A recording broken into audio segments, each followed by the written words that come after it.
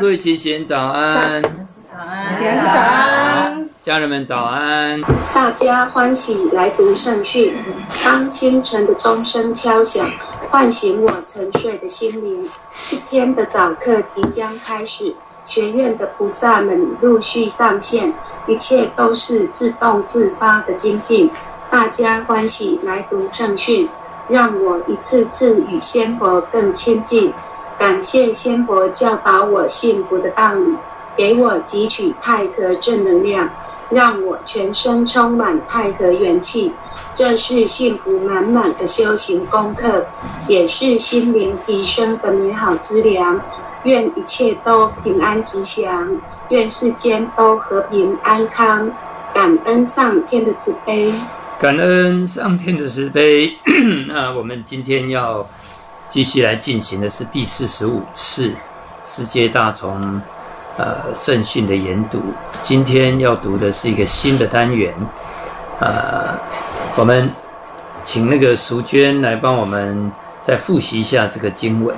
鲁韵大同篇：大道之行也，天下为公，选贤与能，讲信修睦。故人不独亲其亲，不独子其子。使老有所终，壮有所用，幼有所长，鳏寡孤独废疾者，皆有所养。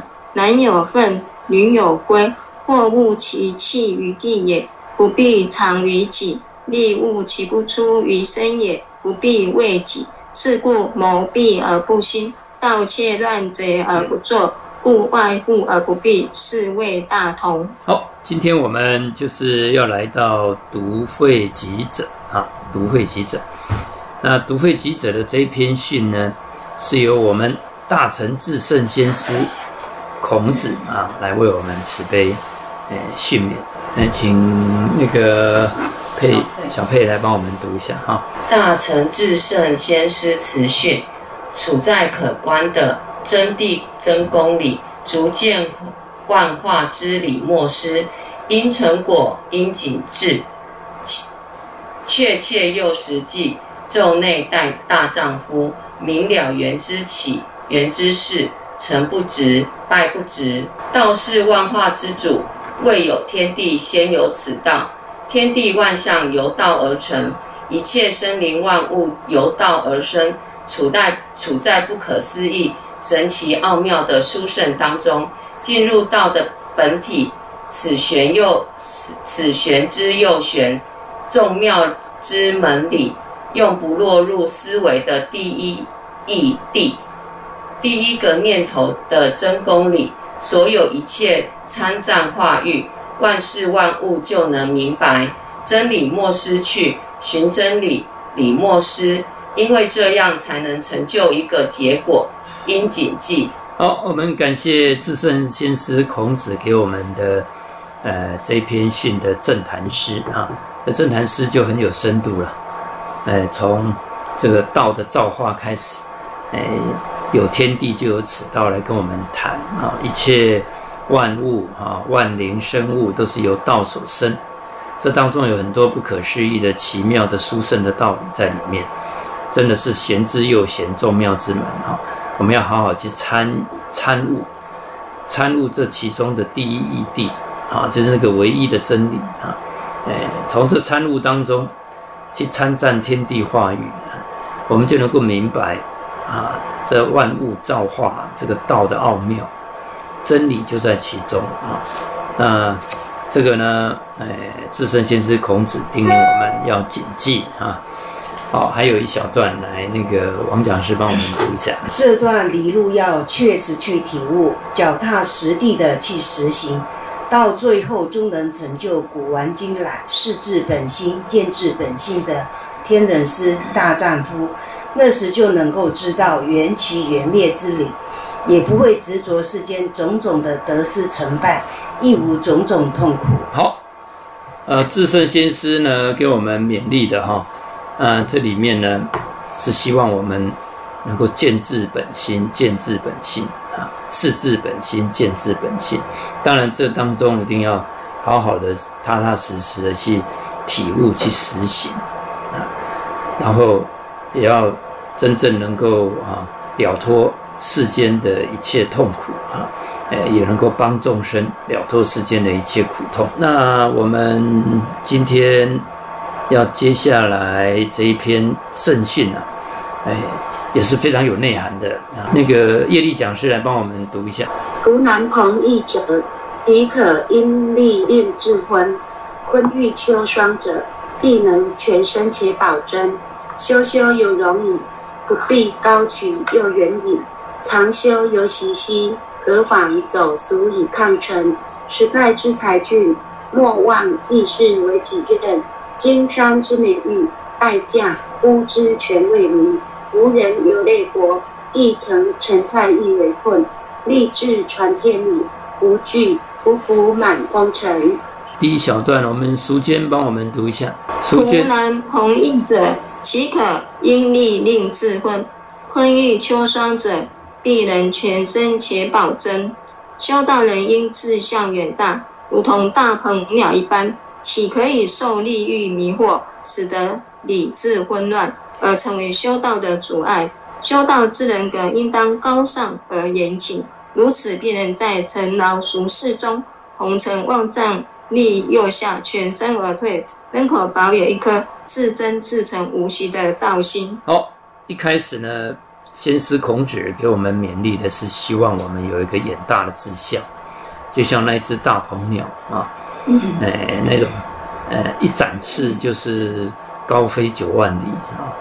呃，那一种，呃，胸襟跟气魄，这个是我们修道人的应该有的一种人格跟担当，还有那种那种，嗯，也也等于说我们要成为一个大同理想的实践者，我们就是需要有这样子的一个远大的志向啊，那一种担当，那一种人格啊，呃，在这个红尘万丈之下哈。也能够保有我们那一颗至诚无息的道心，好像那个昆仑山上的洁美异石般。好，好，那这个大讲到这个大鹏鸟，当然我们会想到庄子哈，所以一开始勉励我们要学习庄子里面所讲的这个典故哈，可以帮我们读一下。庄子告诉我们这样一则寓言故事：很久以前，在北方的海中。有一只很大的鱼，它的名字叫鲲。这种鱼的身体有好几千里长，经过几千年的演化后，这种叫鲲的鱼就蜕变成大鹏鸟。这种鸟的身体也很大，它的背就有几千里长。因为翅膀太大，不能一下子就起飞，必须顺着海面飞行，然后鼓动它的翅膀，迎着大风直飞天空，离地九万里。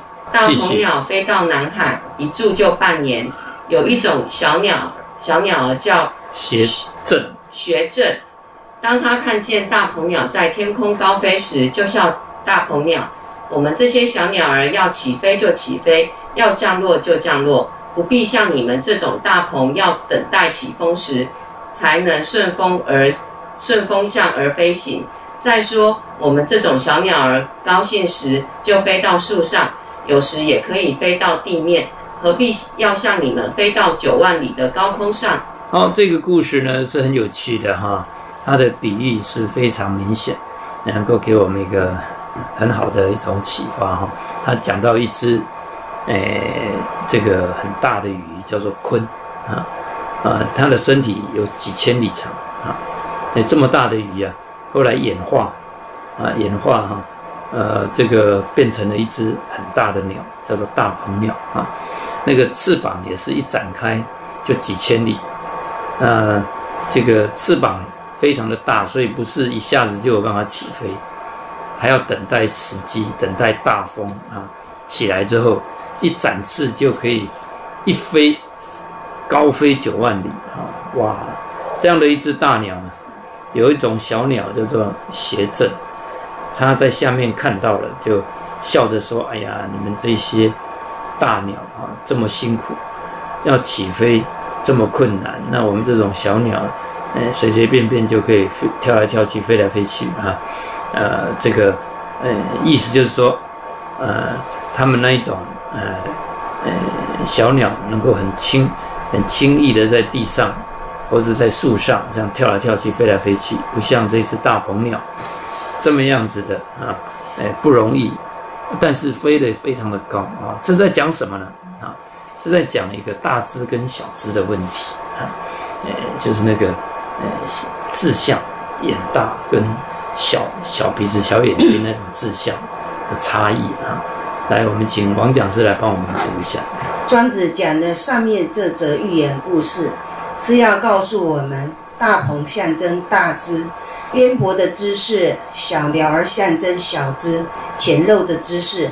我们时常会以自己的小只去判断大大只，这样的判断常常会造成一种偏见。这就像一种早上才出生。到了夜晚即死亡的小虫，他就不知道一年四季的不同变化。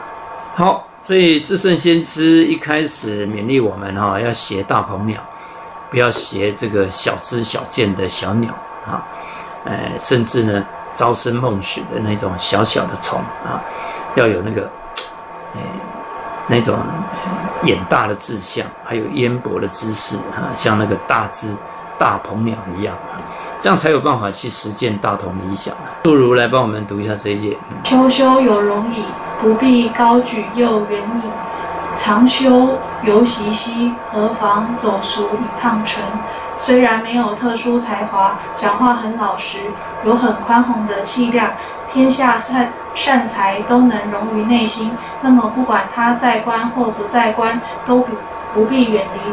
一位有仁德君子，乐善好施，心胸宽大，处处能为人着想，能爱好贤德之人，努力精进不懈的学习，闲暇无事或倦息之时，仍需二六时中不间断，又何妨奔走于成熟之间，因以不因以在尘不染尘。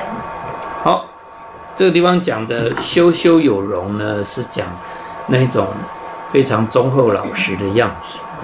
哎，虽然没有才华，但是呢，很真诚老实啊。那一个大同理想的实践者，需要的不是呃那种呃很聪明呃很有这个看起来很有才华能力啊，但是呢不实在的那一种啊。他需要的是很笃实啊，只要很实实在在的这样做啊，就像。修修有容这样子啊，那不必高级又严隐，意思说，不管去到哪里了啊，在任何情况下啊，常修有习习那一种呃，很懂得往内去，呃，人家说缓求诸己来修身，呃，修我们那种仁德君子、乐善好施，那一种胸襟，嗯，呃，这种。呃，精进努力不懈的修啊，呃，让自己啊能够达到二六十中不离道，而且也就是说在尘不染尘啊，在那种非常洁净的心智，在尘不染尘。好，业力讲师，爱之才俊，莫忘济世为己任；金山之美玉，爱嫁孤之权为民。一位有德君子是。大时代的才俊，莫忘记以济世度众、挽世界之颓荒为己任。就像美丽的玉石，在择其是或的买主败价而沽呢？为了众生卖掉它吧。美玉犹如殊胜宝贵的道，世人不是道真理真，道之奥妙处。希望白羊天使能代天宣化，将如美玉般宝贵的道宣扬出去。为了众生的慧命，嫉妒世人，让人人都可以学修讲半行。好，接下来还要学习，呃呃，至圣先师孔子教我们的待价而沽的那种美誉啊，啊，这是一个时代的才俊之士所展现出来的。什么叫做待价而沽呢？不是那一种呃自吹自擂。不断的在那边讲自己的好，希望别人来用啊，来重视啊，啊，来提拔，呃，到处去钻营啊，不断的去努力，想要得到呃好的关系，能够有有所提升啊，能够去做一些想做的事啊。哎，其实应该君子是这样，人不知而不愠啊，自己努力了啊。那种才尽之事是不断的呃自我要求、自我努力，以济世为己任哈。然后他就像金山的美誉，其实他有内在非常的美好，但是呢，哎，他是等着人家慧眼识英雄啊来赏识他，而不是自己努力的，呃，想尽办法要让人家啊，呃，来看自己的好，然后来提拔自己啊，不是这样子啊，这个叫做待价而沽了啊，应该要做成这样子，人家才会显出我们的尊贵啊。呃，配仪无人游列国，亦曾陈蔡欲为困，立志传天理，无惧仆仆满风尘。大成至圣先师孔子于周游列国时，曾经也遇过陈蔡绝粮的危险困境，但深知君子穷乃穷道乃天命，故困穷时能固守于道，应当安道待命。虽然如此穷困，还是立志传扬真理，丝毫不畏惧奔波劳苦。每位修道者都当惜圣惜贤，孝圣法贤，跟随圣贤之脚步。好，至圣先师孔子本身就是一个待价而沽的美誉了，但是呢，在他那个时代是一个乱世啊，所以孔子并没有呃有很好的机会哈去展现他的长才。但是孔子呢，他不会刻意的去钻研，然后去巴结，希望得到一个呃发挥任官的机会啊，因为他是待价而沽，嗯，所以呢，因为这样子的一种高贵的心智，所以呃也遇到了很多的考验跟锻炼啊，包括陈蔡结梁、消极发谈这些等等啊，所以这里的五人就是指孔子了。五人游列国，亦曾陈蔡邑围困，就是讲孔子，呃，在周游列国那十多年当中，遇到了很多困难啊，那种考验啊，但是他都没有改变他的志向，立志传千里，传天理，啊，他所要传的就是，呃，尧舜禹汤文武周公这些圣圣相传的，呃，这个道统，这个真理，哎，丝毫不畏惧了，哎，奔波劳苦，仆仆风尘。也不改变他的心智，啊，不改变他的心智啊。好，以上呢第一段的重点就看到，呃，至圣先师孔子给我们勉励哈，都是非常好的哈一个启发。第一个就是我们先要有一个远大的志向，就像那一只大鹏鸟，啊，因为我们要当一个大同理想的实践者，那个是一个何其远大的理想，所以我们也要有，哎，像大鹏鸟那样的志向。也像昆仑山上的那种洁美的玉石一样啊。其次呢，我们要修修有容啊，就是非常笃实恢宏的气量，乐善好施好施的心胸。虽然呃，白羊法门是要走入人群，走入生生活当中啊，走入众生里啊，就好像在红尘当中，但是要有在尘不染尘的那种。洁净心智，其三呢，还要当一位时代之才俊之士啊，有济世救民之志，也像那那个金山美玉啊，那么样的宝贵，那么样的尊贵啊。但是呢，是待价而沽，哎，不是自吹自擂哈，自己讲自己的好，希望人家来来用啊，来呃这个提拔啊，这个 不是那样啊。其次呢，还要向至圣先师孔子来学习，经历各种的困难考验锻炼都不改变他的那一份宣扬真理的志向，那一份呃继志术士、承继古圣先贤，哎，那个那那个实践那个大同理想的心智都不改变。好，好，那今天我们就学第一段，哎，接下来我们要。继续来到的是白话训啊，呃，这是在我们呃二零零四年三月二十一号在三峡灵隐寺哈，有汉中离大仙以及何仙姑，来，给我们慈悲的呃这个白话的圣训。佛说一切法，位置一切心。那我们请那个淑娟来帮我们读一下。自觉觉他，一世修，一世成。自觉觉他，这两者缺一不可。上天选圣选贤，是要公园果满的。你们想吃苦了苦，还是做个平凡人就好？有的人没志向，想说我回天再好好修，这一次好好修就好了，干嘛要修那么多事？下辈子还要再来，这样好吗？好，这个呃何仙姑哈，还有汉钟离大仙仙佛给我们的勉励啊，一定呃要我们能够把握，呃现在这个时期啊，一世修一世成，因为大开古度啊，呃这个以前那真的是要修到三千公演八百国满，现在我们。啊，只要得受名师一指，因为刚好名师应运，嗯，这是一个最好的时机了。尤其现在呢，很多关考我们的前辈都帮我们挡掉了。现在这个时候真的是最好修的时候，但是也最容易忽略掉，嗯，没有好好把握。所以在这边勉励我们，要做一个自觉觉他觉行圆满的，哎，呃，这样子的一个觉者大觉者，努力去修。一世修，一世成，啊，嗯，下辈子再来会怎样都很难讲的。来来，王讲师，人生难得，仁者无忧。贤士们忧愁烦恼一大堆，每天听你们说人生很苦，你知道人生苦，为什么不好好修？您好好修成了，就不用再来受苦。这次修不成，下一次还是要来修成为止。只是到那时候，不知几个缘会了。人生难得，一失人生万劫难复，绝非虚言呐。仙佛不会骗人的哦。前面讲，呃，一世修一世成，这个是千载难逢的机会了。尤其我们今天能够得一个人生，啊，下次得人生不知道什么时候了啦。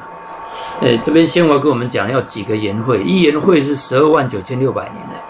而几个言会就不知道哪时候才能再遇到大开普度啊，所以一失人生万劫难复的意思就在这里啊，所以一定要懂得把握啊，哎，但是我们人就是这样子啊，虽然得受名师一指点，而且有好的环境，有好的修办，可是呢，我们却一大堆烦恼啊，哎，所以仙佛这边跟我们讲说，仁者无忧，只要我们有那一份爱心的付出。啊，为众生、为道场、为有缘的这些有呃能够得受名师一点一指点的同修共伴，大家一起努力啊，发挥我们的爱心、慈悲心，自然不会有这些烦恼的。烦恼一大堆，啊，这个呃求道修道还烦恼一大堆，还人生痛苦苦还很多啊，这样子就是代表我们没有好好在修啊，所以先佛勉励我们。哎，人生难得，要好好把握啊！素如先佛的苦心要能体会，当贤士们心生动摇、心生退志的时候，可要知道诸天仙佛多么为你们担忧。贤士们也都知道自己身上背了多少六万年的冤业在，咱济公替你们担着，你们自个儿也要知道长进。你们老师每次开班都要到各府各洞，请仙佛来给你们慈悲，所以你们老师的苦心，你们要体会。好，我们要体会哈仙佛的那一份用心，那一份苦心啊。呃，当我们心智动摇的时候，最担心的就是我们的。呃，非常爱我们的济公老师啊，呃，还有我们的九贤七祖都会非常的担心，仙佛为我们担忧，九贤七祖也会为我们担忧啊，因为我们身上都背了六万年来的各种各种的冤孽债啊，要去还呢。但是，一世修可以一世成，这一世就可以全部还完，只要好好修啊。这个六万年来的这个冤亲债主，一次要把它还完啊，这是不容易的。这一定会有很多上天的慈悲，我们老师佛老师为我们担待啊，我们出三分力啊，上天帮我们哎七分力，哎，所以能够好修好办呢，都要很感恩，嗯，因为上天的用心绝对超乎我们的想象，而我们自己人本身的用心却很很有限，所以懂得体会仙佛的苦心，老师的苦心。我们自然那个心就发得出来。业力讲师，多想想济公，想想老母。贤士们以后先生动摇时，就想想济公，想想老母，就在老母眼前叩叩头，求求老母慈悲。实在是秉性愚痴，无名破不了，求老母慈悲，家家智慧，护持此志向不退转。好，所以想想仙佛，想想老师，想想老母哈，哎，我们的心能够跟诸佛菩萨、跟老母相通。有时候我们当我们受苦受难啊，哎，各种考验的时候，我们需要有信心嘛，啊，因为。呃，有时候信心尤其容易动摇的时候啊，更是需要仙佛的力量。但是仙佛的力量也要我们时时刻刻想着老师啊，想着仙佛啊，想着老母啊，哈，哎，然后哎，怎么做呢？在年前多磕磕头，佛前多磕头啊，求老师老母慈悲。因为自己呢有很多很多的障碍，叫做秉性淫疑痴无名破不了啊。所以我们需要上天给我们加灵加智慧啊，扶持我们的志向，不要退转。尤其考验锻炼来了，有时候这个志向就很容易哎改变，叫做退转。一退转哦，要再转回来就很难。这个好像前面讲的一失人生哈，万劫难复一样，所以一定要守好。朱娟，无名是修道的大障碍，无名是修道的大障碍，无名不除。修道就不会进步，所以要日日忏悔，才能破除无名。修道这条路要坚持到底，不是一天两天而已，是要长长久久盖棺定论。修道这条路要坚持到底，哈！先佛勉励我们，哈，呃，但是我们人有很多的无名，无名是我们最大的障碍，啊，无名不除啊，修道就不进步，啊。无名就是我们的脾气毛病了，啊，一个人呢，如果带着脾气毛病修，那就很难了，啊，就会有很多很多的障碍，障碍会越来越多，所以一定要破除无名。怎么破除无名呢？嗯，多忏悔，多磕头，啊，多反观自省，这个有时候也不是一天两天就有办法，要每天每天。所以为什么我们？早晚献香要有验忏粉，提醒我们呢，要日日忏悔，每天每天才有办法去破这个无名。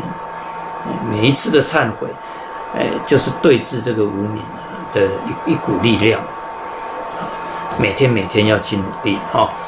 好，佩仪，勇于成全人，度化众生，勇者无惧，勇者果敢，当仁不让，见义勇为。勇者有突破万难的壮志，不畏顺逆服其心，不畏万难灭其志。勇者见为受命，所以不怕死。修道人要有勇勇敢、勇气，勇于担你的使命责任，勇于成全人、度化众生。好，先佛勉励我们要当一个真正的勇者哈。勇者不是匹夫之勇那一种勇者，勇者呢要勇于担当，勇于度化。啊，呃，要有那一份勇者无惧、勇者果敢啊，那种当仁不让的见义勇为啊，这些都是在实践我们的理想过程当中啊，要有的，因为会遇到各种的考验锻炼的啊，这个叫做顺逆服其心。那当考验锻炼来的时候，我们不改变心智，就是一个勇者啊。